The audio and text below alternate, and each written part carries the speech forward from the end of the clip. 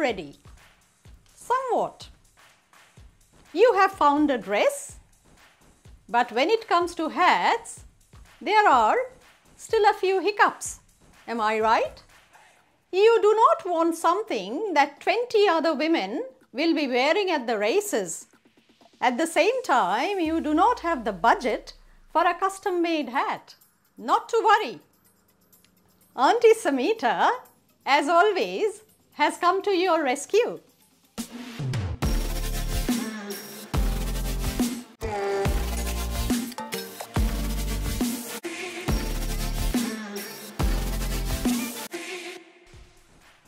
Open your wardrobe. Go through your everyday hats, headbands and bandanas. What do you think? Can you dress up some of these and elevate them to the status of racewear? Now that's precisely what I have done. I have taken out my stash of ribbons.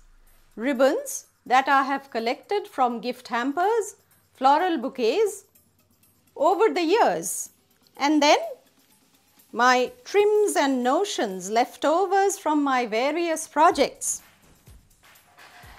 Pieces of jewelry, broken jewelry, bits and pieces that I can repurpose.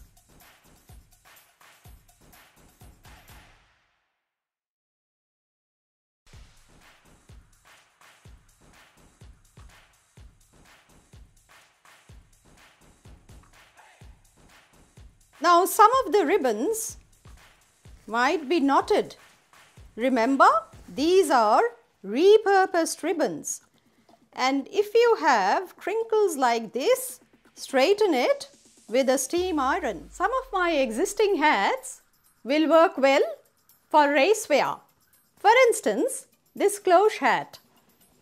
It has a nice ribbon, a nice bow in front and I'll dress up the bow with ribbon flowers silk flowers or even crochet flowers. And I'll let you into a little secret. I have appropriated aka stolen this Australian open hat from my partner's wardrobe. This too can become a racewear hat.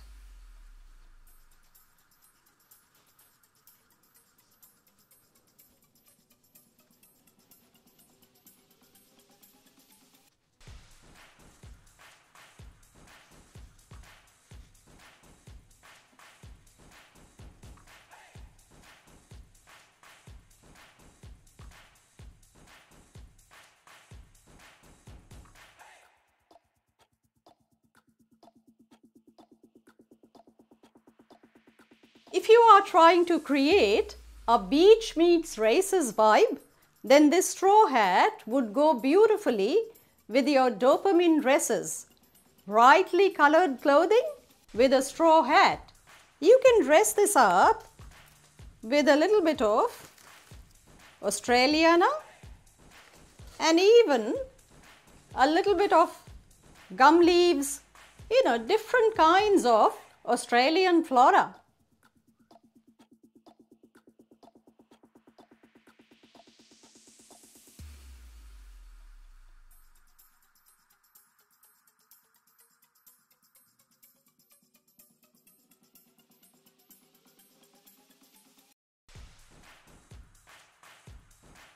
A word of caution.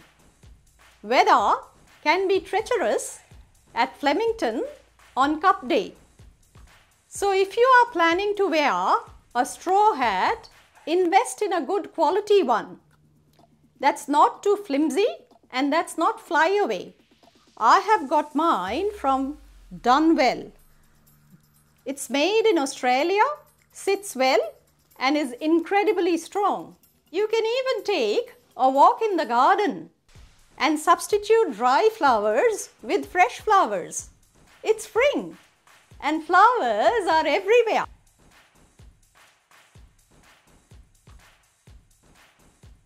Now you would say, Samita, I am somewhat lacking in the creativity department. Not a problem. Go to Michelle Catling. Michelle is a genius when it comes to making headwear out of fresh flowers. So be it Cup Day, Oaks Day, bridesmaids, bachelorette parties, girls' day outs, Michelle is your go-to person for floral headwear.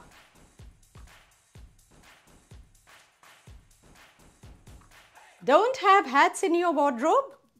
Look for some unused headbands and dress them up with trims, laces, beads, baubles, whatever you have.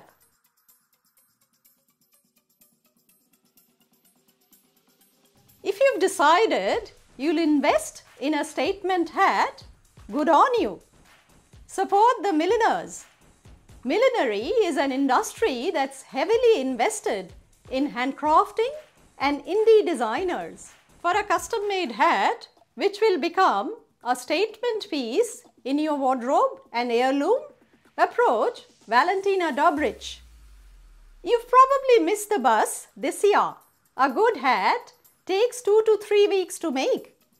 But hey, plan for next year.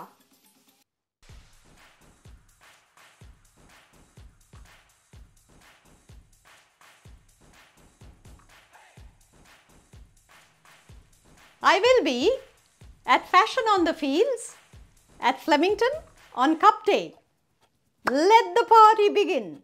Time for breakfast. Learn with Samita's subscription rate is faster than some of the fillies on the tracks. And if you are not subscribed yet, why not? We'll be reporting next week from Flemington, Melbourne, Australia. Till next time.